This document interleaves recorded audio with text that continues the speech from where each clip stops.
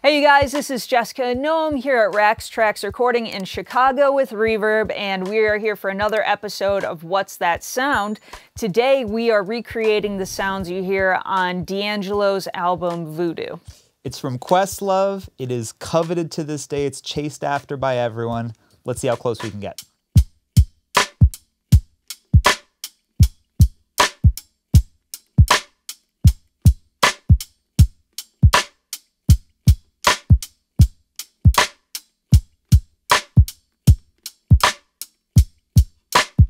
For our drums today, we used a Ludwig Vista Vistalite kick drum and then Zildjian K-Dark hi-hats that I played with a pencil to get a shorter and softer sound. And then we used a Yamaha piccolo snare that I just played the rim of.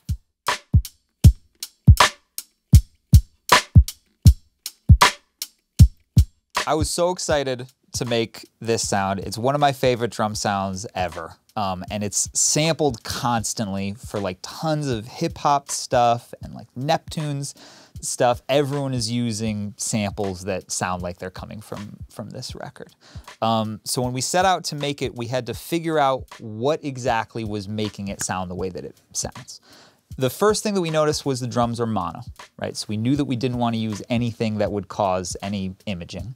We knew that the drums were super tight, and we knew that they had a lot of saturation going on with them, especially the snare drum. So we knew we'd need to saturate it. Past that, we were just kind of guessing and experimenting. So we tried a bunch of different drums. We ended up with the kick drum that we chose just to make it as soft as possible, right? This kick drum does not have a lot of attack.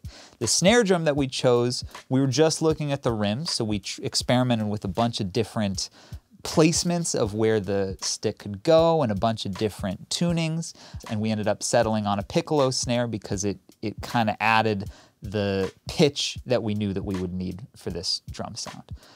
The hi-hat sound, we ended up using a pencil because the hi-hats would end up way too heavy with any stick. These hi-hats kind of feel like they almost feel like the way that like trap hi-hats feel in in uh, trap music right now, right? It's really really kind of short, small, soft attack and the weight of the stick would bring way too much weight to that sound. So the pencil would keep it really really small and just in its right place in this drum sound.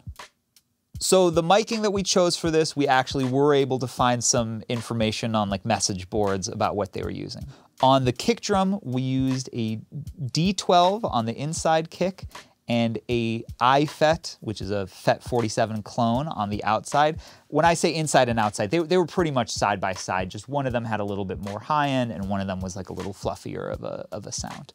On the snare drum, we did a 57 on top and we did a AKG 451 on the bottom. The 57 would give us a really ag aggressive mid-range knock to it, and the bottom mic would give us all that sizzle that we needed on the top, and we also used a lot of the body from it, a lot of the, the low end from the bottom mic to, to kind of round out the sound. On the overhead, we used a Neumann 47 just really low and, and close to the sound so that it didn't pick up so much of the room. So to start, let's pull up our overhead.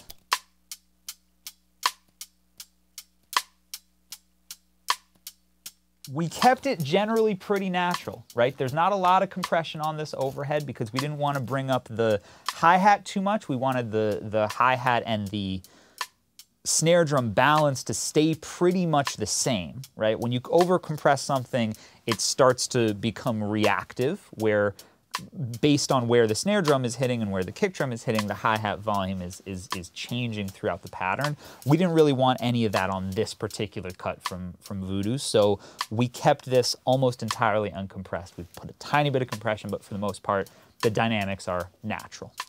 Uh, the thing that we did do con to control dynamics a little bit is we added a little bit of saturation, and I did that with a plugin called NLS, which is like a, a console emulator, right? It's it's a, effectively the same as like turning up the the channel on an SSL console or something like that. Uh, on this particular one, I'm using the EMI uh, setting, which adds a lot of low end and high end uh, to the sound.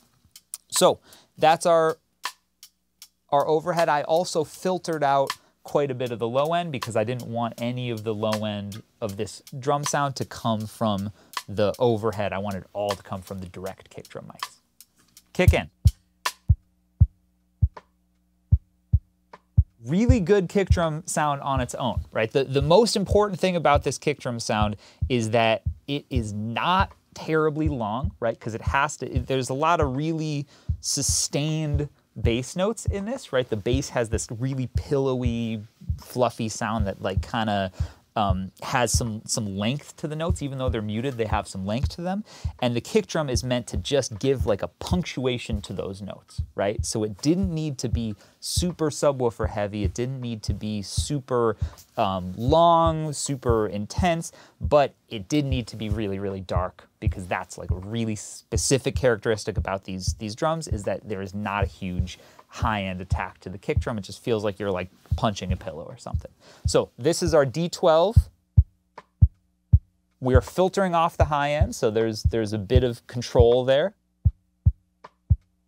And here is our FET 47. A little bit thicker, a little bit pillowier, but also just two sides of the same coin. Uh, if we only, if we had to, we probably could have just used one of these mics, right? They both sound like complete drum sounds. It's not the kind of thing where like sometimes if you're recording a, a rock drum sound, the kick out mic will be integral and the kick in mic will be integral and you have to use both of them. These both sound great, but together,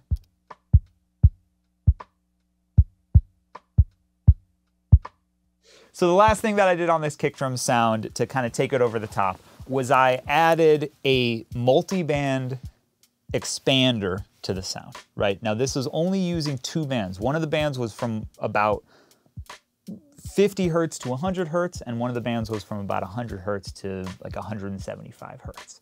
Um, I took those two bands, I brought them down in volume, right? So I lowered the gain on those two frequency ranges, and then I had them react to the kick drum every time it hit. So every time the kick drum hit, you would get this momentary boost in 150 hertz roughly, and in like 75 hertz roughly, right? Uh, the reason that I did it this way is because I wanted to tack on this kick drum, right? I wanted it to, to, to get punchy, but I did not want to add any high end to this kick drum.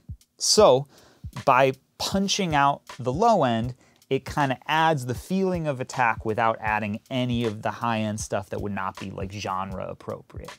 All right, let's take a look at the snares. The snares, we did kind of a lot to them. So let's listen first to the in and out with nothing on them, and then we'll add in effects one at a time. Here's our snare top.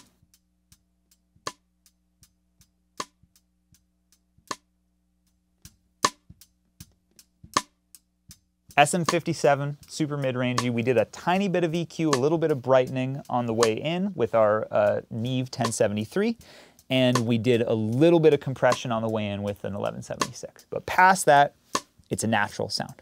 Uh, here is our snare bottom.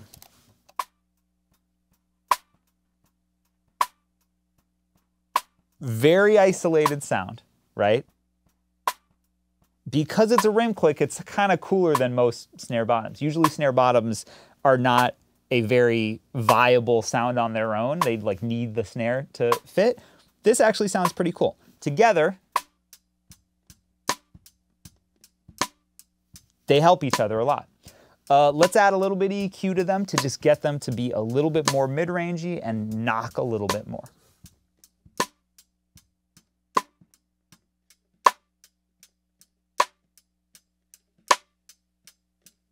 So now we're starting to stylize a little bit, right? It's getting a little bit more uh, mid-range heavy in a way that no snare drum acoustically would ever sound this mid-range heavy.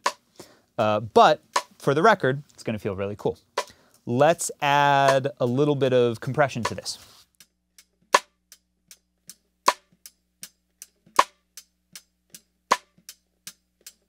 So this is compression. I'm also doing a little bit of limiting because this sound is not super, super transient. And so I wanted to cut off a lot of the, uh, a lot of the initial attack of it, right? I just wanted this kind of sustained flat sound. Um, so limiting is gonna help with that.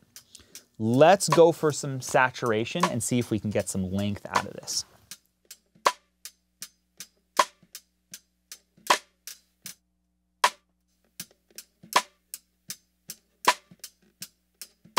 Okay, a little bit of distortion is at is pulling out a little bit of length here. It's adding a little bit of uh, of tone to this sound, but there's quite a bit of hi-hat in this snare already. So let's add noise gates so that we just get just the rim through this sound.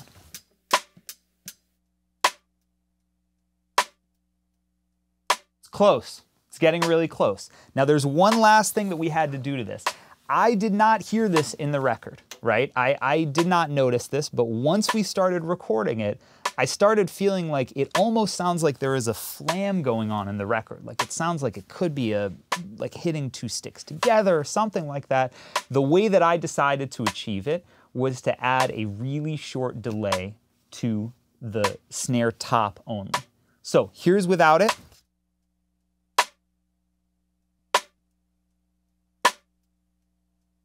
And now here's with the delay. It kind of makes it sound like an 808 clap in a weird way. It makes it feel super, super stylized. And that's like kind of the point of this sound, right? Is it's live drums, but it's meant to kind of feel like a, you know, lo-fi J Dilla like hip hop beat. Now we we threw up a room mic when we when we set up this this sound. We threw it up not because we heard a room mic, but because we had read in like message boards that they were using a room mic. Now when I say room mic, I'm talking about a microphone that's like just in front of the kick drum, right? It's not a room mic. It's it's just happens to be in front of the kit, um, but it's it's not really any further away than the overhead is, let's say. Um, it would pick up a lot of kick drum because it's in front of the kick drum, right? But it's not a kick drum mic because it's picking up the whole kit. And on this particular mic, we used a ribbon, which meant that it's going to be really dark. We used a Coles 4038, very dark microphone. And it's bidirectional, which means it's probably going to pick up a little bit more of the room.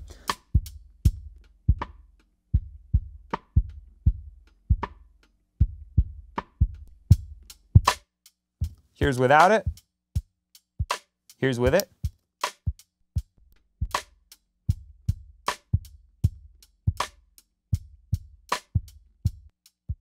So the last piece of the puzzle is a tiny bit of reverb. You can barely make it out in the record, but there is a little bit of reverb there. We triggered a, a bit of reverb just off of the snare drum, and we used a Valhalla Vintage Verb plugin set to like two seconds decay. Uh, and that was set to the big room setting. Let's take a listen to the whole thing and see how it sounds.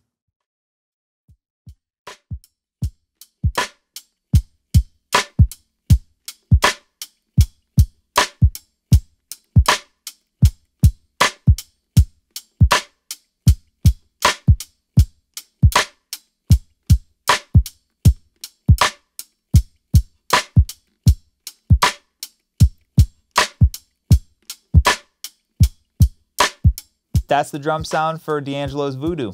Let us know in the comments what other drum sounds you'd like to hear us break down, and we'll see you next time.